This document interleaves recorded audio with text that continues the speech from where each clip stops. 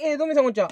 えー、前の動画のね、続きになるかどうかわかりませんがね、えー、2号車から、えー、で前回のね、前回？前々回？はわかんないけど、まあ、この動画いつ上がるかそもそも不明なんで、申し訳ないですけど、えー、トミックスの臨界線、まだイネタリ付けね、ちょっと俺の肩の、あのー、なんか、手がいてるの。肩のね、ちょっと右肩がなんか本当に上がんなくなっちゃって、日常生活の影響でしたんで、ちょっとまあ、あの、今日2月17日のね、えフェブラルシークス掃除なんですけど、まあちょっと今日撮ってるんでね、えー、まあ今日中に撮影だけはね、ちょっと終わらせたいかなと思いますね。あとほんと月末近いんでね、Wi-Fi が言うこと聞いてくれたらいいんですけど、30分のね、尺超える動画ってね、めちゃくちゃ時間かかるんですよね。まあ、とりあえずね、えー、この動画はまず尺15分ぐらいでね、えー、3、4台は終わらせたいかなと思います。ではね、行きたいと思います。今回はね、中間車編になります。でもね、ちなみに中間車とかのね、色差しも、えー、完了してますんでね。えー、結構ね、見栄えとしてはね、まあちょっと、あの、今回ね、あの、タミヤの塗料じゃなくて、あのー、なんだっけな。あの、コピックかなんかのマルチナイナーの0.03ミリ使ったんですよ。まあ横浜に買いに行き直して。あのー、ずいぶん前に 今回ね、それ使っていきたい、あの、使ったんでね、まあ、ちょっと見てくれ悪いかもしれませんが、ご了承ください。ではね、行きたいと思います。で、えー、中間車なんですけど、一律ね、あの、このクーラーの向きがあるんですけど、えー、っと、全部ね、あの、号車番号に関しては、えー、新木場より？失礼。ごめんなさい。大崎寄りです。今、どうぞどうぞ出た。えっとね、大崎寄りの方にね、大崎寄りっていうか、まあ、大宮寄りか、川越方面の方につけるんで、まあ、今回でいくとね、このクーラーの、あの、でっかい部分の方にね、えー、貼る感じなんです。この、こっちの分。まあ、だいたい、割りで言うと46ぐらいの大きさのね、えー、こっち側に貼りますんでね、まあ、行きたいと思います。では、中間車はね、えー、2号車から、2号車、3号車に関しては弱冷号車もね、4号車のみなんで結構簡単なんでね、えー、ちゃっちゃと中間車に関してはさばいていきたいと思います。ではね、ちょっと中間車に関してはね、えー、同時攻めでいきたいと思います。よいしょ。ではね、行きます。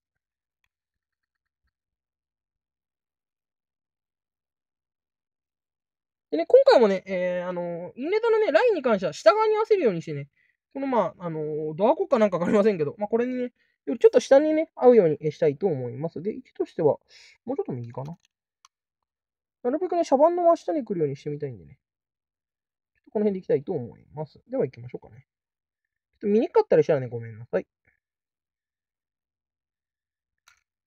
危ね。危ね。ああ、でもなんかほんと、今回のこのインネタちょっとノリが悪いかもね。なんかいや、つけづれ。前回の一両、あの戦闘車の時もそうなんですけど。ちょっとでもあれ本当になんかつけづれえな。今までつまようじでもね、簡単についたんですよ。あの、つい最近買った中古の200系。あれね、結構つきよかったんですけど、俺300系もこの後ちょっと取るんでね、ちょっとそれだけが心配。ああ、最悪マジで。もうね、全面熱張っちゃったんで、失敗効かないんですよね。それが本当にちょっとネックなんですけど。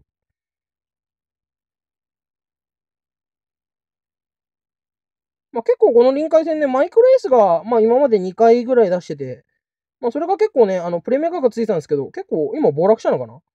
あの、初期のね、ガラスが今これ開閉式になってるんですけど、このガラスがまだね、開閉式じゃないロットあの、昔の黒ケースかな、多分。そのケースのやつだとね、だいたい重量で、あ、本当にやばいんだけど。それ重量でね、今多分2万弱なんですよ。で、あの、改良品でもね、重量で今2万2、3000円かな。結構あれ暴落したんですよね。一時期重量で3、5? もしくはね、4万近くいってたんで、あの、その、地域によって。東京の店だとね、比較的にだいたい3、5から4万近かったと思うんですよ。結構これね、個人的に変えてよかったかなと思うんですけど。C こんな感じかな。あ、失敗した。まあいいや。そしたらちょっと反対側も行ってみましょうかね。本当に今ね、あの、先に3号車貼ってからこすろうとしたんですけど、間違えて先にちょっとやっちゃったんでね。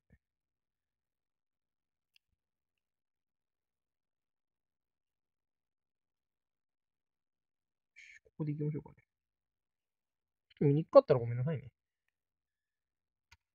なんか本当にそもそもこれが今回貼りにくいんで。そもそもこっちがまずネックなんですけど。今回ね、細かく優しくいくっていうよりはね、強く一気に、あの、強くね、えー、やりたいと思う。その方が多分、粘着力はいいと思うんでね。マジで今回これ突きにくいな。何なんだろう？何が原因なのかあぶね。まあ、本当だったらちゃんとあの、金属のやつ変わった方がいいんですけど、俺やり、持ってないんですよね、まだ。ちょっと買ってないんで申し訳ないんで、ちょっとこんな簡単なやり方になっちゃいますけど。ちゃんとね、貼る前にね、拭いてるんですけどね。そこなんかね、ノリが悪いんですよね。まあ、運が悪かったのか。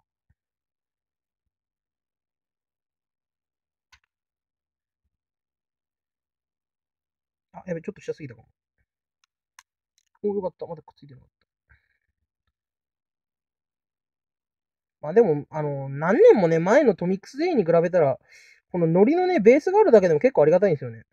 あの、昔の車両って、あの、ベースがなかったんで、まあその分ね、あの、ベースがないと、あの、車番だけはね、個々にいじりやすいっていうのがあったんですけど、ただね、ほんと、ベースがないとね、貼りにくいっていうガチな汚点があるんですよね。それがほんとネックで、俺、あの、あまり好きじゃないんですけど。やべ、なんかちょっと失敗したかも。あ、やべ、7削っちゃったかも。あ、削っちゃったからやり直そう。ね、こんな感じでね、ベースのやつだとね、一箇所削れたらね、全部死んじゃうんですよね。それが本当にネックなんですけど。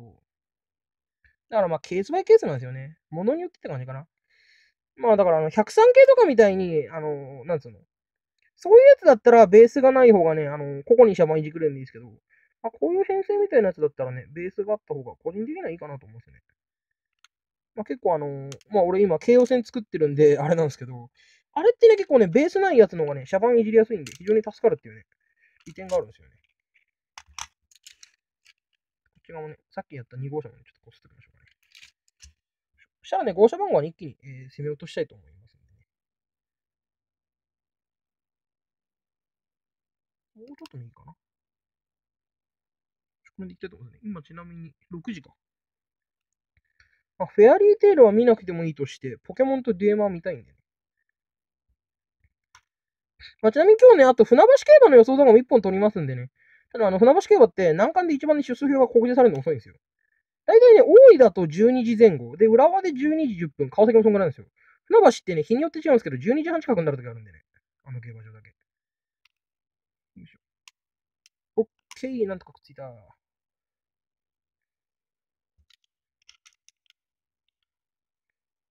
いしょ、OK。したらね、えー、っと、号車番号の方ね、買っていきましょうかね。今ね、この画面だとちょっとこの床下の向きがあるんですけど、これだとね、右側に貼りますんでね、一気に右側2箇所貼っちゃいたいと思います。で、下が2号車でね、上が3号車になります。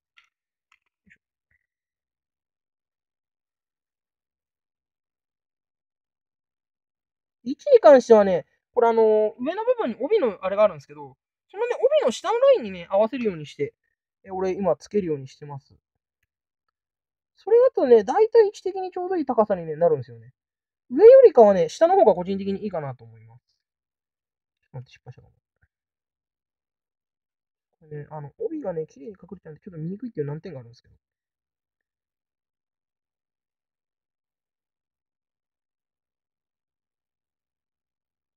本当だったら、あの、優先席のマークとか貼りたいんですけど、そこまであの材料持ってないんでね。まあ、今回はね、あのー、まあ、普通にし、あのね、別に加工できる店だったらね、加工すればいいんですよ、勝手に。ただ今回のほらね、市販のこの状態でね、どこまでいけるかでちょっとやりたいんでね、ちょっとごめんなさいね。優先席とかあの女性専用車両はね、一切ちょっと今回貼らないと思います。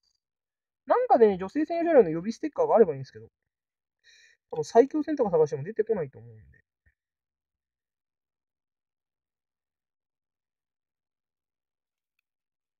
やべ、縁が取れた。あのね、すぐだったらね、こういう風に綺麗にいくんでね。最近のやつだったらね、結構この綺麗に戻しやすいんですよね。一応こんな感じで。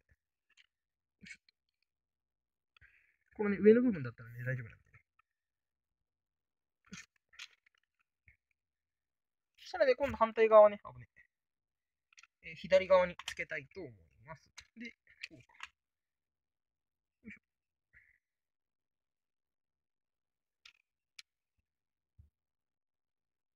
まあ、結構ね、中間車はね、一気に本当にいけるんでね。えー、この辺でいいかな。あくまでもね、大体の目標としてね、適当に言ってます。ちょっと失敗した。あー、ちょっとリカバリー不可能かも。あ、無理だ。ね、なんかね、俺、まあ、右利きの人間なんで、こういう作業するときって、だから、この左側の部分ってね、どうもやりづらいんですよね。ってわけなんで、ちょっと見にくかったらね、ごめんなさい。ちょっと逆さまでやりたいと思います。多分ね、その方がね、失敗そんなにしないと思うんで。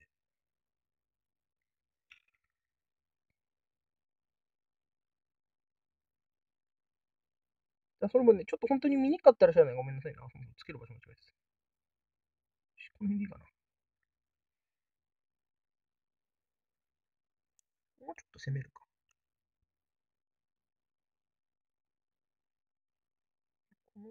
ちょっとこの辺いいかな。多分そんなにね、ドアギリギリじゃないと思うんですよ。ちょっと隙間あると思うんで。それ考慮して、ちょっとずらしましたけど。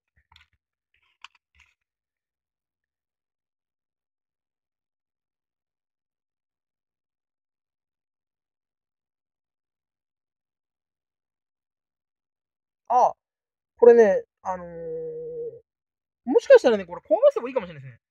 これ、屋根の長さ4枚分、あ、危ね、屋根の長さ、これ4枚分あるんですけど、一番、この端っこの、ちょっとライター、また、ちょっとごめんなさい、この端っこの部分でこれ合わせて塗る、塗るっていうかね、貼った方がもしかしたら位置的にはちょうどいいかもしれないですよね。今これ思ったんですけど。ただ端っこの部分失敗したらこれ一回のゲームオーバーなんでね。それがネックなんですけど。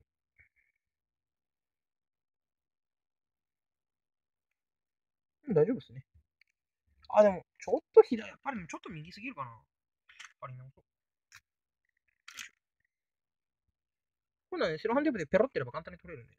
ちょっとやりましょう。そうだよな。あー、合ってるか。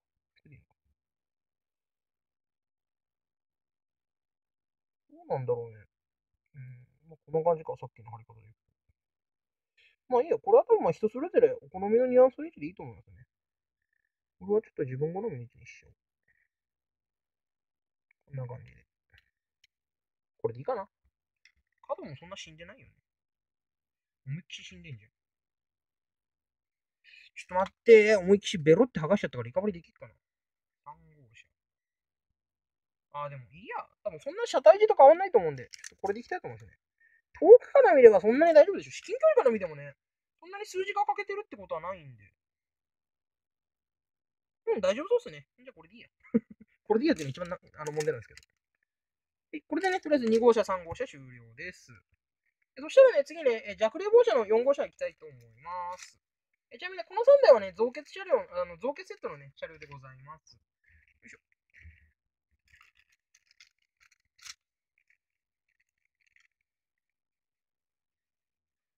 あ、失敗した。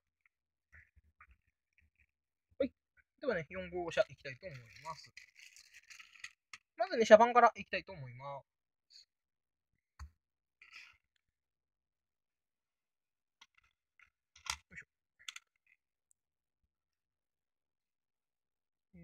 号車だからこれか。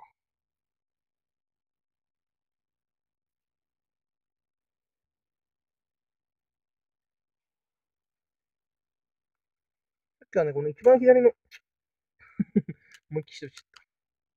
なんかこの一番左の部分だけが異常に貼りづらいんだよね、なぜか。この部分はそんなに貼りづらく感じないんですけど。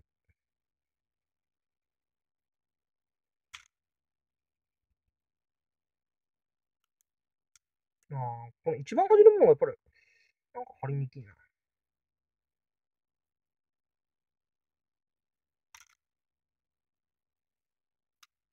ああ、でも、なんとかついてからいいや。そしたら、この場合はね、まあ、ここ先にこすっちゃって、で、端っこギリギリで、なんとかさばけないかな。こんな感じで。もうこれ大丈夫ですね。そしたら反対側行きましょう。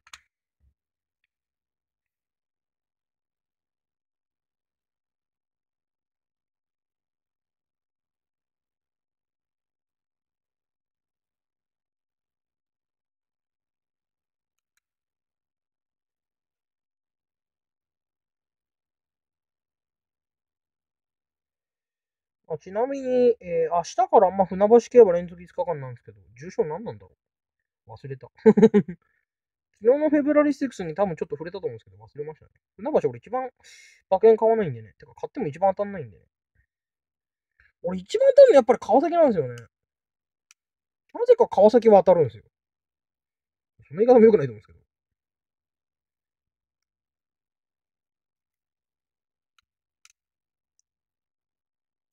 あ、ちょっとやばい。あー、大丈夫。大丈夫じゃねえな。ちょっと微妙なところだけど。大丈夫かな？あ軽くこした程度だったらね、あの、普通にセロハンテープでもリカバリ効くんで、大丈夫だと思うんですけど。あ、そんなに問題なさそうっすね。いや、このまま固定させちゃおう。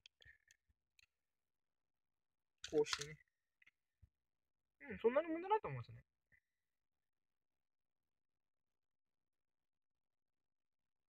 うん、まあちょっとでも位置が、あ、でもそんなに問題ないか。うん、別にそんなに字もね、かすれたってことはないし。まあ、ちなみにこれ側面はね、臨界線にします。ちょっとでもどうなのかなまあ人それぞれでいいと思いますね。この辺に、細かいところに関してはね。ではね、続いて号車番号も貼って、え一気に弱冷号車もね、貼りたいと思います。よいしょ。ではね、号車番号からいきましょうかね。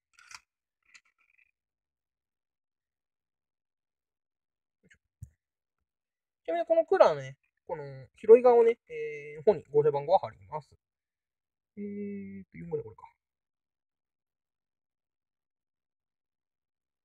一応ね、もう大体の適当なところでね、えー、いいと思います。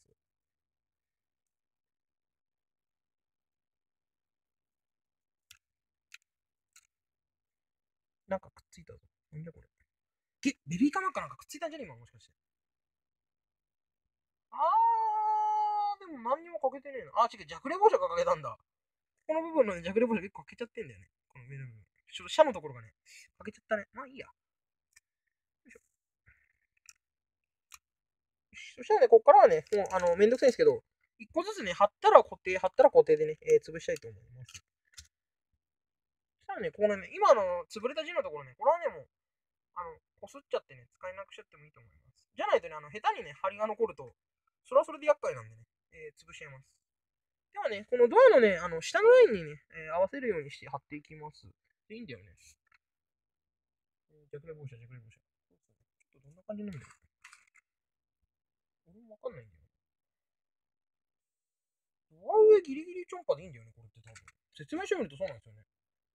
ドア上ギリギリチョンパになってるんで、えー、それでいきたいと思います。よいしょ。ということで、今回ちょっとね、申し訳ないですけど、縦でいきたいと思います。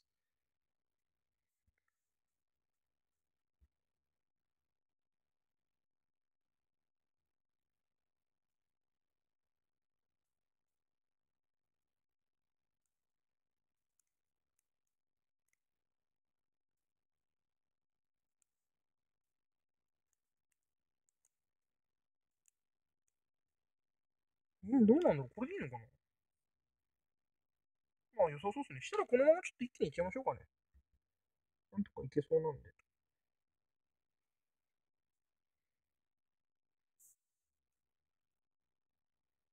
まあ、ちょっとね、少しドアからずれちゃったりするのはね、しょうがないかなと思うんですよね。あの、ステッカーだったらね、あの、どうにかできるんですけど、インネタの場合はね、ちょっとそれは手厳しいんで。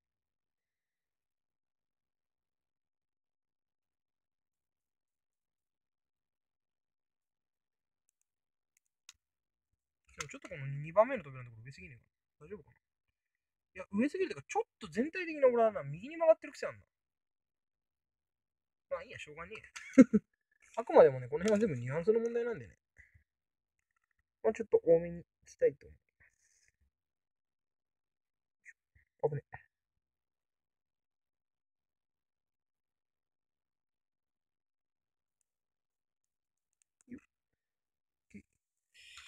これでちょっととりあえず固定させてみて。ち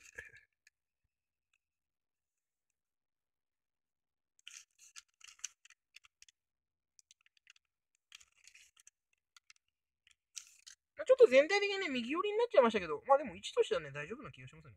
一番最後のもちょっと上すぎんな。でもこれ、どっちが正しいんだろうね。ドア上なのか、帯隠すのか。説明書を見るとドア上直感、あのドアドアの上、もろ上になったんでちょっと説明書負けちゃいますけど。こんな感じで。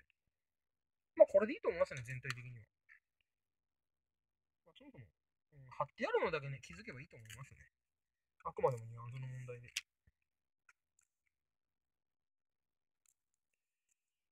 ただね、反対側もとりあえず一気に攻め落としてますね。したらちょうど尺的にもね、20分ちょっとになるんで、えー、終わりにしたいかなと思いますね。したら次、えっと、5号車、6号車やっ、どこまでいけるかかな。まあ、今回は弱、あの、次の車両がでも弱冷房車ないんでね、ちょっと大幅に、えー、カットできるかなと思います。4号車、4号車。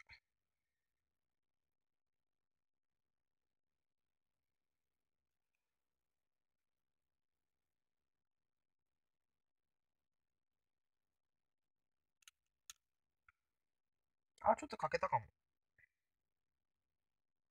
まあ、1ヶ分ぐらいだったら、ちょっと今回はね、もう、あの、多めに見ちゃいます。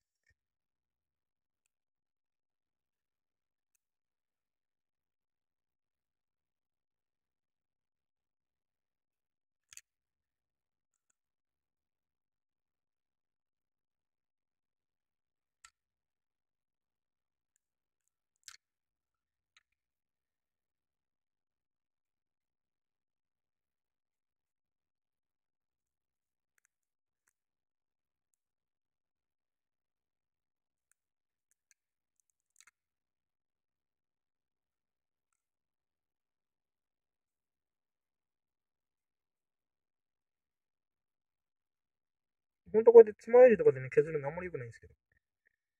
今回はね、これでいってみたい。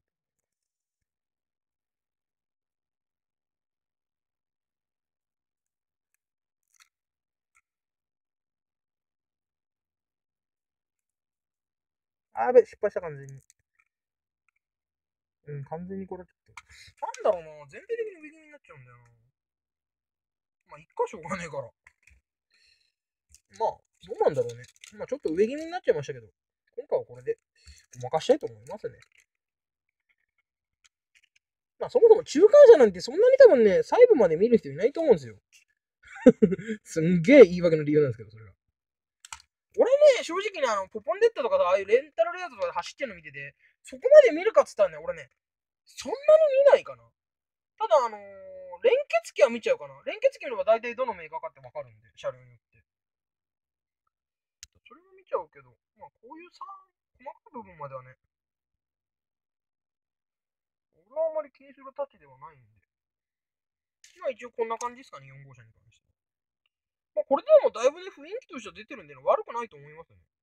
ちゃんとドアの上近くに来てるんでね、まあちょっとところどころね、失敗したかなーっていう気がするのがあるぐらいなんですけど、まあでもいいと思いますね。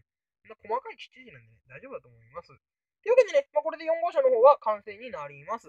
ただね、この後またね、5号車から、えー、6、7、で、8、9どこまでいけるかね、わかりませんが、ちょっと頑張りたいと思いますんでね、えー、次の動画で、えー、なると思います。ごめんなさい。ではまた次回の動画でお会いしましょう。ありがとうございました。